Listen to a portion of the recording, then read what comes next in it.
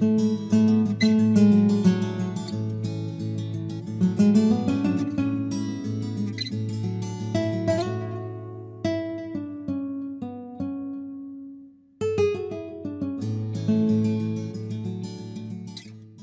amigos, hoy vamos a hablar sobre un tema sensacional. ¿Cómo hacer para que florezca una orquídea o cómo buscar tener una muy buena floración en una orquídea? Porque hay un mito que es que cuando nos regalan una planta nunca vuelve a florecer. Entonces les quiero dar los tips importantes, lo que tenemos que tener en cuenta para que tu orquídea, tu catleya, sí florezca. Bueno, primero que todo es tener el hábitat, el lugar ideal para que estas orquídeas florezcan naturalmente y florezcan bien. Eh, yo tengo un video que les voy a pasar, puede que no esté muy bien editado, etcétera, porque eh, es hecho con un celular. Pero vale la pena que ustedes vean en algún lugar de Colombia, en algún lugar de La Mancha, en algún lugar de Colombia, cómo florecen las catleyas triana en su hábitat natural. O sea, sin hacerles nada, de donde son originarias. ¿Por qué florecen bien ahí? Pues porque es su hábitat natural. Entonces, primero que todo, antes de, es tener el hábitat ideal para las catleyas conociendo los padres que tienen cada una de ellas. Por ejemplo, eh, en los híbridos, que vamos a hablar de híbridos, yo lo que más tengo en Alma del Bosque son híbridos de catleyas. Los híbridos ideales para las plantas, las, las catleyas de tierra más fría, es que tengan un poquito de raza de catleya Mendeli ya que la Mendeli es una de las catleyas que aguanta más frío. Entonces, eso es importante.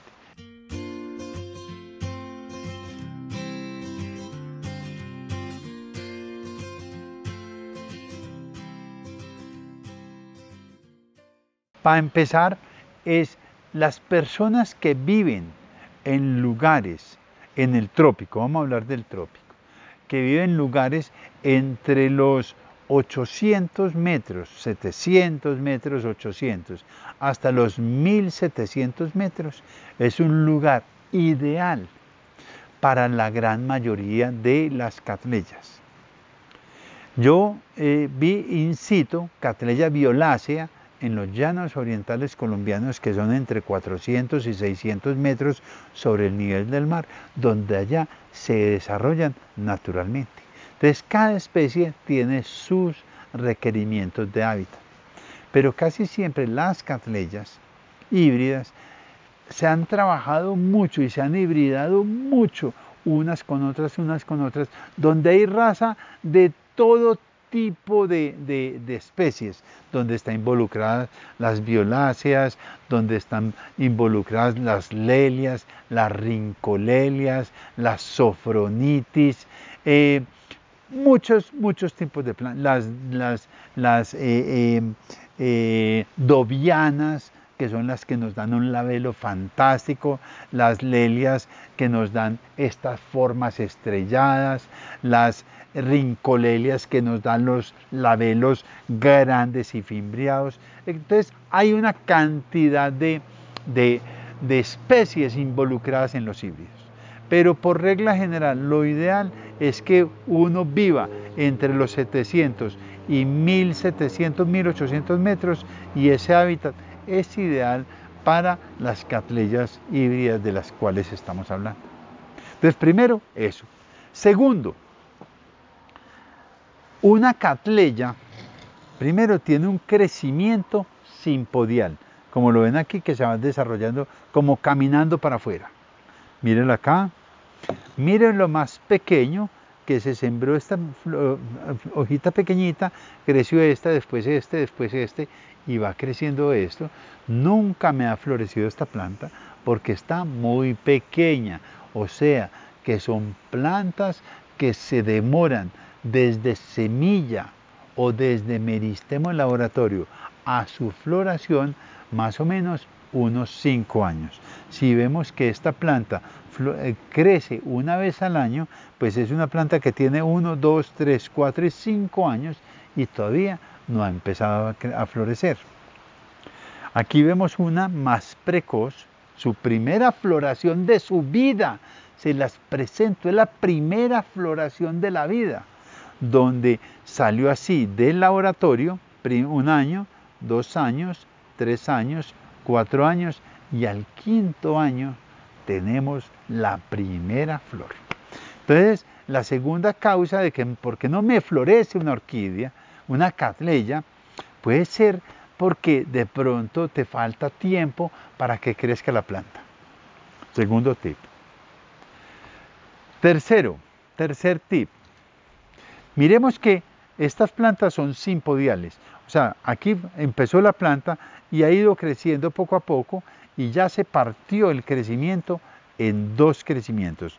Uno hacia este lado y otro hacia este lado. Y miremos que el último brote viene con flor. ¿Listo? Las catleyas no florecen nunca más donde ya florecieron. Ejemplo, aquí ya había florecido. Esta ya floreció. El año pasado crece, este crecimiento aquí floreció. Hoy este año me está floreciendo en este crecimiento. Apenas acabe esta flor, la corto y tengo que esperar que haya un nuevo brote para que me vuelva a crecer y florezca. Entonces, ¿por qué no me florece una catleya?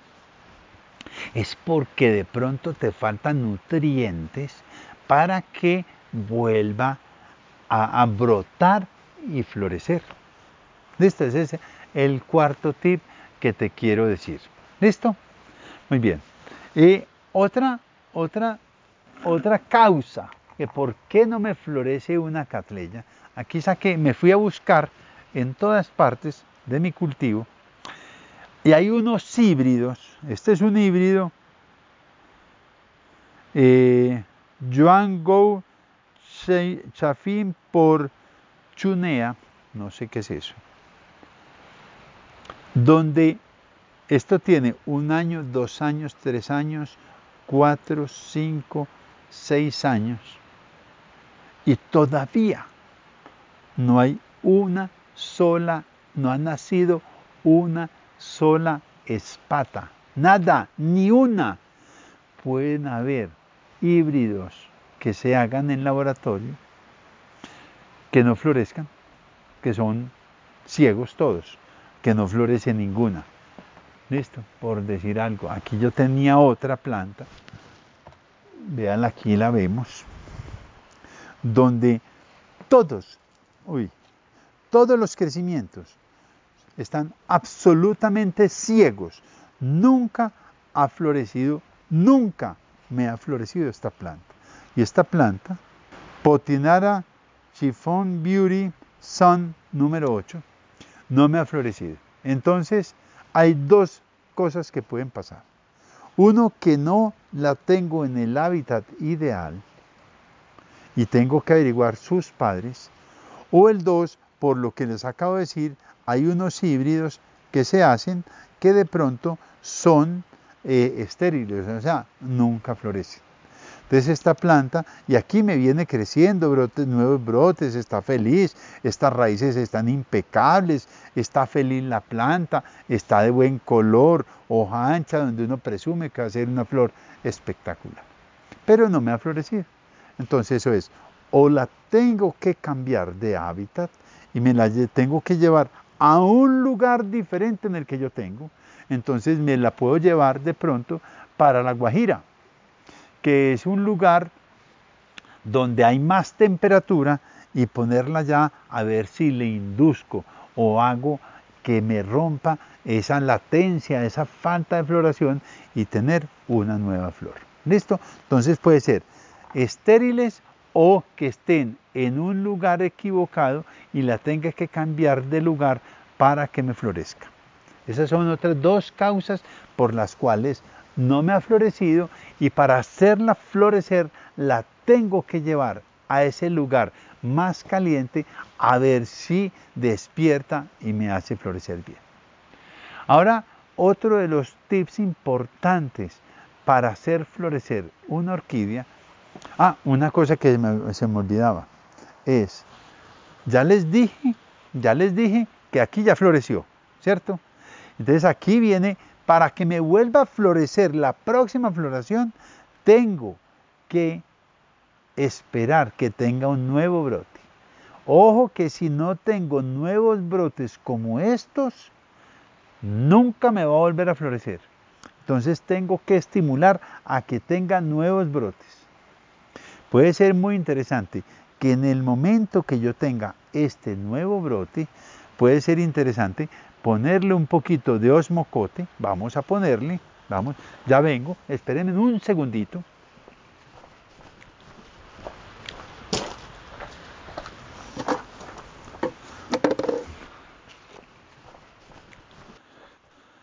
Aquí tengo este osmocote, yo el osmocote es un abono de lenta liberación, entonces que lo tengo siempre cerrado, entonces podemos echarle, vamos a limpiar bien la cuchara para que no haya humedad dentro del, del pote, echamos este poquito de osmocote y se lo vamos a poner debajo del sustrato, por los bordes de este nuevo brote, que es donde vamos a tener las nuevas raíces. Y volvemos a tapar, sacudimos un poquito para que los mocotes se entierre, porque no me gusta que los mocotes quede observándose en la superficie para que no me vaya a quemar los nuevos brotes. Entonces puede ser una buena técnica echar los mocotes cuando tengamos un nuevo brote de estas catrellas porque así cuando tengamos este brote creciendo, vamos a estimular para que nos induzca un brote más grande que el anterior y así nos florezca. Uno de los tips importantes cuando vamos a comprar una catleya, primero que esté florecida, para que no nos pase lo que nos está pasando aquí, de tener dudas de que si esta planta algún día me va a florecer. ¿Y cómo sé yo que me va que ha florecido, acerquémonos. Primero, si tiene flor cuando lo compraste, ya estamos tranquilos. Sino que veamos que los últimos crecimientos hayan tenido, esté la vara de floración anterior cortada. Quiere decir que la planta ya había florecido. ¿Listo? Eso es muy importante eso. ¿Listo?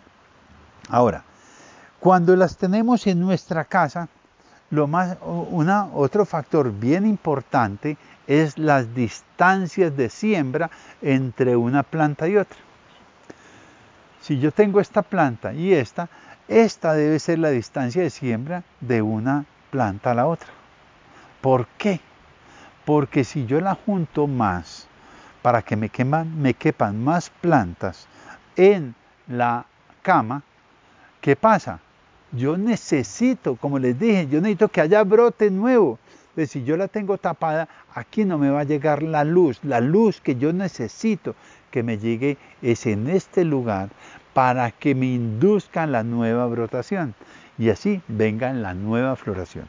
Entonces, distancias de siembra de una planta a la otra que sea mínimo de esta luz. Si la cerramos más, corremos el riesgo de que no nos florezca. Muy bien.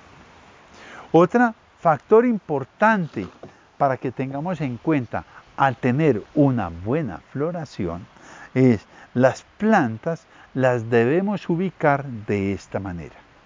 Quiero que sepan que el sol nace en esta dirección, va al mediodía y al final duerme en esa dirección. Todas mis plantas están mirando hacia el poniente. Todas mis plantas están mirando hacia el poniente. ¿Para qué? Porque hacia el poniente es donde hay mejor calidad de luz para que mis brotes, el último brote, sea el más grande, el más fértil, para que tenga mejores calidad de flores, me duren más, tenga un mejor color y una mejor calidad de planta. Entonces todas mis plantas las debo poner mirando el poniente. Y a esta distancia, una de otras, todas mirando el poniente. ¿Listo? Ese es otro tip importante para que tengamos en cuenta. ¿Listo?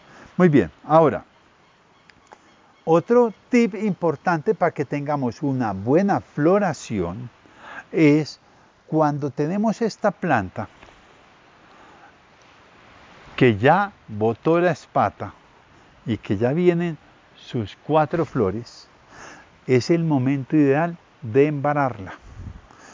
¿Por qué la quiero embarar? Para que la planta que me florece una vez al año me florezca perfecta y no con las hojas, las flores caídas y mal presentadas. Entonces vamos a tutorar este brote, ojo, venga Lina eh, Isa para que lo presentemos bien. Vamos a tutorar bien este brote, entonces vamos a enterrar el alambre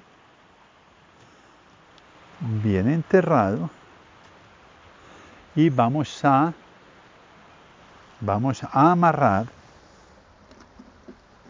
Vamos a amarrar con estos alambritos.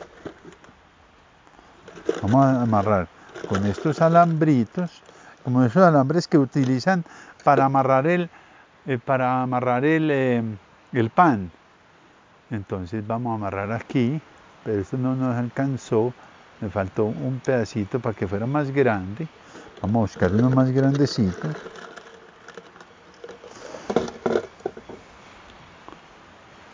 y lo vamos a amarrar acá.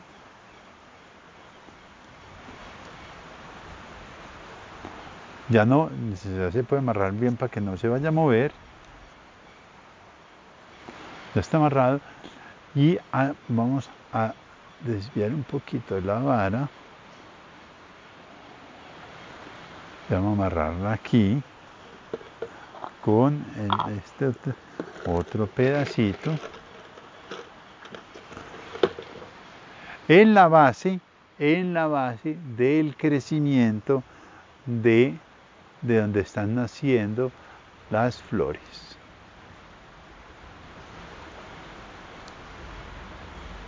Ya están, aquí está amarrada y así voy a garantizar que la flor, las flores se me van a presentar perfectamente en la inflorescencia. Yo a mí no me gusta quitarle esta, esta vara adicional. Les voy a decir por qué. Porque si en algún momento voy a transportar esta planta para mi casa o para de un amigo o para una exposición, yo poder tener un alambre más largo y poder poner la bolsa que el tope sea arriba y no en las flores, para que la bolsa me llegue bien y no me vaya a dañar la calidad y formación de esta planta. ¿Listo? Entonces esto es tener, garantizar una buena presentación de la planta para eh, que la exhibamos, ya que tenemos una sola oportunidad de exhibir esas flores una vez al año. Bueno, esos son los tips, amigos, que les quería enseñar. Ah, bueno, hay otra cosa importante. Ya que entonces ya quedó claro eso. Ahora vamos a mostrar una cosita en esta planta. Las flores, las flores, hay un honguito en, las, eh, que, les, que mancha las flores, es un hongo que se llama botritis.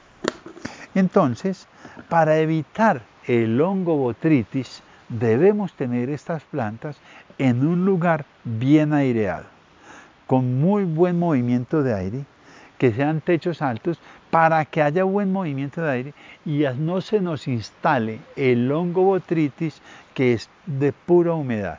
Entonces, buena, buenas distancias, bien aireado, remojar únicamente en las mañanas. Nunca remojemos las flores, remojemos únicamente las raíces, el sustrato, para que así vamos a garantizar que sus flores estén bien presentadas y duren bastante y les vaya súper bien. Espero que hayas aprendido cómo hacer de que tu catrilla te florezca y que sepas cómo lograr una excelente floración de tus plantas. Haremos más videos de este tipo, de muchas especies de tu interés. Si te gustó este video, compártelo, dale like, dile a tus amigos que Alma del Bosque es el lugar donde te enseñan todos los secretos para que tus plantas sean absolutamente felices y tengan unas floraciones excepcionales. Que estés muy bien.